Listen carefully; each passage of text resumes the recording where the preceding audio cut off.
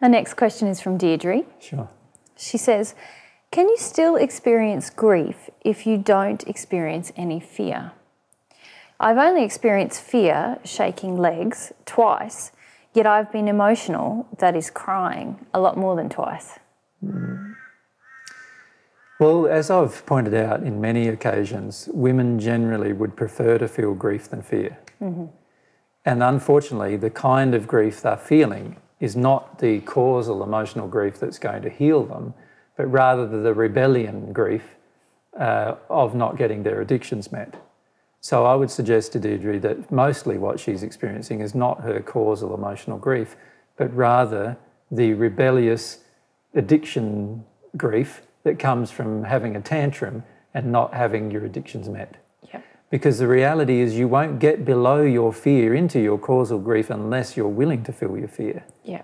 And if you've only felt your fear twice, you know, and a very short period of time, then I would suggest that you're quite resistive to feeling fear. Mm-hmm. And therefore, you've probably got quite a lot of addictions, and therefore, you've got a lot of crying to do when those addictions don't get met. Mm-hmm.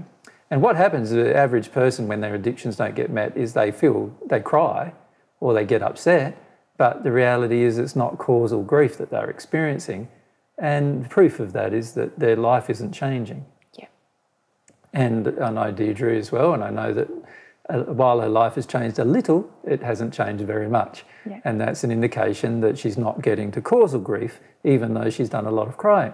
So, what she's doing is actually what I'd call rebellion or tantrum. It's a, it's a grief that you experience when your addictions do not get met. Mm-hmm. You're far better off to focus on your addictions in a more positive manner and have a good look at them and analyze them and feel about them. Feel the actual addictions in play. Feel why, why they are unloving. Most of what happens to us in, in terms of our life is the cause of what the choices that we have made that are, that are unloving. And most of us are making choices every single moment of every day that are unloving while we believe they're loving.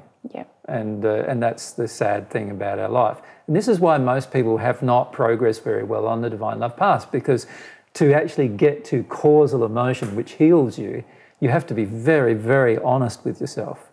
And the majority of people are not that honest with themselves, unfortunately. They, they cry and they go, Oh, AJ says it's good to cry because they're feeling my emotion. I'm feeling my emotion. Isn't it wonderful? I'm crying. I should be progressing.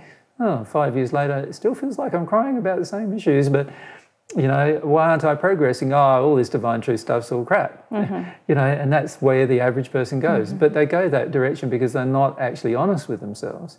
They haven't felt any causal grief. They've only felt their grief that comes from not having their addictions met. Yep.